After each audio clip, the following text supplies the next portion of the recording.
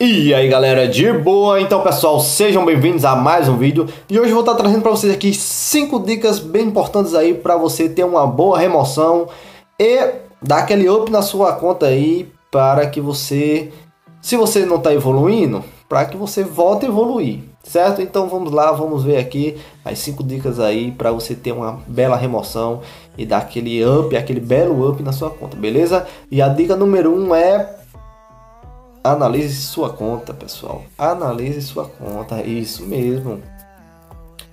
É, você vai chegar aqui, você vai sentar uma bunda na sua bunda na cadeira, você vai se deitar, você vai fazer o que você quiser. Você vai pegar seu celular, botar na frente da sua cara, 30 minutos, uma hora, o quanto você tiver disponível, certo? Mas você precisa fazer isso, cara. É essencial que você faça isso dias antes da remoção certo? Se melhor você, tipo, acabou a remoção, você já vai começar a analisar a sua conta a partir dali. A partir que você acabou uma remoção, a partir do domingo você já vai começar a analisar a sua conta para que quando chegue na próxima remoção você já tenha ali tudo em mente do que foi feito, do que foi farmado, o que foi pego. Para você quando chega na remoção você vai suavemente ali só é, consertando um pontozinho ou outro, certo? Então é bem importante você fazer isso você vai chegar aqui você vai dizer, pô, por que, que o boss não tá morrendo tão rápido? Por, causa, por que, que tal mob tá morrendo? Por que, que o boss tá jogando antes? Porque tudo isso é bem importante, galera. Então, principalmente você para early game, mid game, é muito importante você ter essa visão aí, você parar um minutinho e poder analisar sua conta. Beleza? Então, não esquece, pessoal. É importante sim. Então, vou fazer aqui como se fosse uma escadinha, certo? Além dos pontos importantes, até como se você tivesse chegado no, no, no late game ali para você chegar lá. Então essas cinco dicas aí eu creio que vai ajudar bastante, beleza? E a dica número 2 é onde farmar. Isso mesmo, galera, onde farmar. É, você vai chegar aqui, você vai olhar, você vai dizer, pô, cara, farmam tanto gigante, farmam tanto dragão, tô querendo farmar necro, pô, e agora, velho? Primeiro, você farma gigante por quê? Por que você está farmando gigante? Segundo, por que você quer farmar necro? Certo? Necro, na minha opinião, na minha humilde opinião, você vai farmar necro depois que você tiver um time de, de gigante, dragão e raid, certo pessoal? Daí você vai para necro, depois se você quiser você faz besta, certo? Então necro ali é tipo ali o, o ponto late game, onde você vai pegar as Will o Will é boa para quê? PVP. Então Negro é PVP, certo? Então aconselho muito você early game gigante, mid game já se começa a se enxerir ali para dragão, é dragão e raid e nessa transição aí você vai começar a entrar no late game e entrar na no negro, certo? Então é bem importante você saber o que farmar, onde farmar, certo? Pô, Jeff, é, como assim? Eu vou dar uma explicação aqui rapidaça, rapidaça, certo? Você, pô, você precisa, pra se dar bem na arena, você precisa de quê? Pelo menos um mob rápido. Um mob bem rápido, seu start. Vamos você é uma Tiana, você botou uma Tiana com 190 de speed adicional, ela tá uma maravilha, velho. Ou senão você tem um Shiu e um Orion. Um Shiu e uma Kabla, um Shiu e uma, uma um Berra. Pô, bota seu Berna ali, ele tem um speed base alta, bota seu Berna com 190 de speed adicional, 180, 170, vai depender do seu nível. Pronto, você fazendo isso, então você já vai ter é, um, um, um timezinho para ataque arena bacana. Você vai conseguir farmar seus 5 pontos ali no Conqueror, tranquilo, Conqueror 1. Beleza, você não precisa mais que isso não, velho. Você primeiro vai pensar em colocar suas torres full skill, depois você vai pensar em rank alto, tá? Suas torres full skill não, suas torres full, né, certo? Então, seus totens. Pensa nisso, pensa, pô, vou ficar farmando aqui no C1, vai ganhar 5 pontinhos Mesma coisa de você tá no G1, G3, tanto faz, você vai ganhar 5 pontinhos só. E tranquilo, suave, velho. Você consegue fazer isso de boa, certo? Então, essa é a dica número 2 aí que eu dou pra vocês.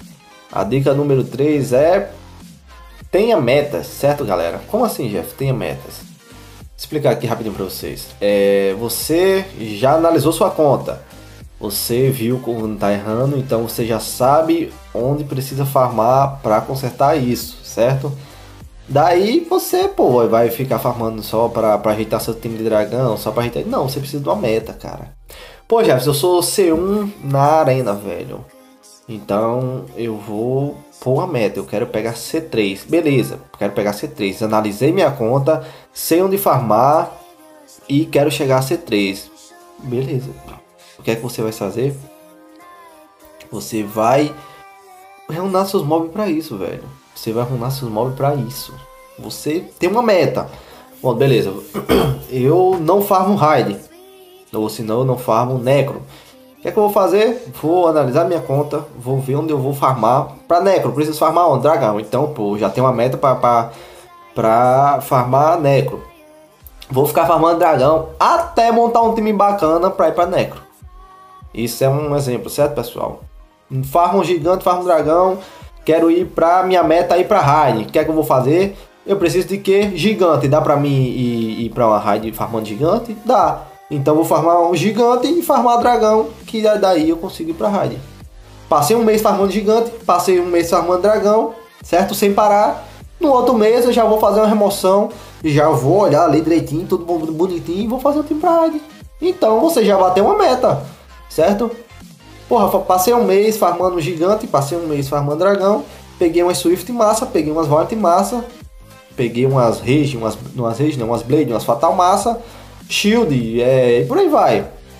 Aí você vai olhar na, na, na remoção do outro mês, você vai dizer, porra, eu consigo deixar esse mob aqui mais rápido, velho. Eu consigo deixar esse mob aqui mais forte, batendo mais rápido. Será que eu consigo pegar aquele C2 agora, que eu, que eu não conseguia nem a pau? Então é bem importante você ter uma meta no jogo, galera. Senão você acaba estagnando ali, você acaba perdendo a graça. E daí, é, geralmente, não acaba desiste de jogar, certo? Então, tenha metas que você, com foco, você, com foco, você chega lá sem sombra de dúvidas.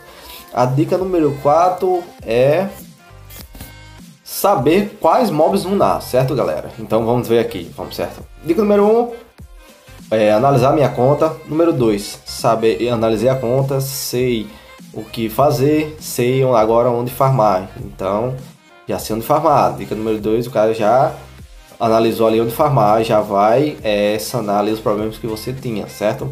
Dica número 3, coloquei uma meta. Então já analisei minha conta, sei onde farmar, tenho uma meta e agora eu vou saber analisar quais mobs eu vou runar para poder chegar lá, certo? Como assim, Jeff? Vamos lá. Eu quero pegar G3 na, arena, na RTA, na arena. Quero pegar G1 na arena, quero pegar C3 na arena e por aí vai, certo? O que é que você vai fazer? Você vai analisar qual mob que eu preciso para fazer isso, certo? Um exemplo bem bacana aqui, pessoal é que, tipo, tem gente que, que não é o que gosta. Tá errado? Não, não tá errado, velho. Não tá errado. O cara gosta do mob, então foda-se, eu quero fazer e pronto. Mas nem sempre vai ser o mob que vai fazer você evoluir. Como consegue compreender isso? Vamos lá. Eu tenho aqui uma Vanessa. Que é uma Vanessa que vai me servir pra caramba para uma def de, de, de, de arena. E tenho um o vampiro, pronto, o vampiro que saiu agora. Você achou o vampiro bonito? O vampiro, pô, design da porra, gostei da skill dele, o bicho é bonitão. E tem a Vanessa que você vai conseguir fazer uma def melhor de, de arena com sua Vanessa. Mas você não acha a Vanessa bonita, você gosta do vampiro, você gosta do chupa-chupa, pronto. Então, porra, vou botar o vampiro. O vampiro vai lhe ajudar naquela meta que você. Você botou a meta de pegar C2 C3. O vampiro vai lhe ajudar? Não, velho, não. O vampiro dificilmente vai lhe ajudar nisso, velho. Não, não vejo muitas opções para ele, não, para isso não. A Vanessa vai lhe ajudar muito mais? Sem sombra de dúvidas. Então, isso é o ponto de vista do, do cara que quer evoluir, tá? É, não o cara que quer fazer ali os mobs que gosta. É diferente, pessoal. Certo? Então, se você tem um foco de, de arena, de C3, você com toda certeza vai precisar colocar a Vanessa, 6 estrelas, um ela bonitinha e deixa o vampiro para brincar lá depois.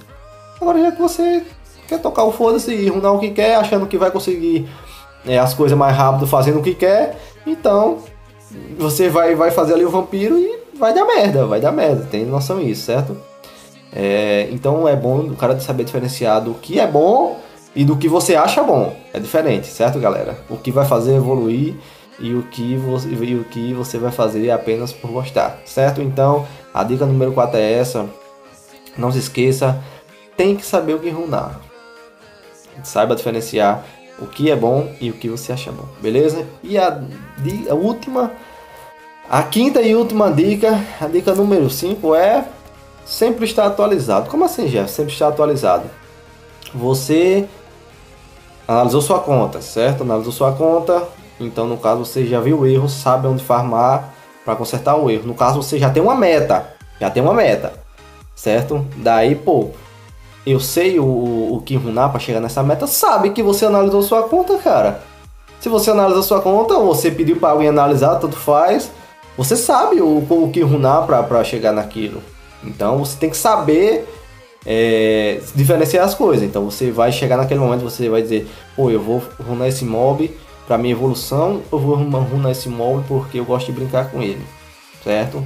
E durante todo esse processo você não pode sair do meta, você tem que sempre estar atualizado, saber o meta, saber o que está em alta, saber o que está forte, saber o que está fraco, certo? Porque tipo, se você for só farmando, deixando o tempo passar, sem analisar o jogo, sem analisar nada, você vai acabar ficando por fora do meta, galera. E quando você conseguir chegar ali, chegar na sua, na sua, você colocou uma meta, você runou tudo bonitinho, para tudo mais, você, pô, agora eu consigo. Agora eu consigo, agora eu consigo, mas você esqueceu de se, atualizar. Então você já saiu do meta. Pô, o seu meta tá, era antigo, cara. Você pegou, se preparou para um meta antigo. Aí isso é, isso é importante justamente pro cara que tá partindo para RTA. Todo, toda, toda season, um, mob leva buff, outro leva nerf, por aí vai. Daí você, um exemplo bem, bem bacana aqui, você, o Mulong é um deus. Era um deus, né? Era. O Mulong era um deus. E você, pô, conseguiu o Mulong, pá, joguei umas na massa dele. Tem uma meta, vou pegar C1 na RTA, C2, C3, tanto faz. Conseguiu pegar como Mulong. Aí para próxima season, você quer conseguir fazer isso com o Mulong de novo. Porém, o Mulong foi nefado. Tomou um nerf na segunda skill. E daí você fica perdidão. Você vai parar no tempo e vai só reclamar. Pô, o dele proc, o meu não proc, o dele stripa, o meu stripa. Mas não, pô.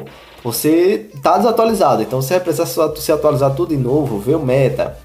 É, colocar novas metas e por aí vai, certo, galera? Então, fica ligado. É bem importante você estar tá atualizado, você saber o meta atual. Você é, conseguir. Porque, tipo, você sabendo o meta, você sabe o que vai runar na, na remoção.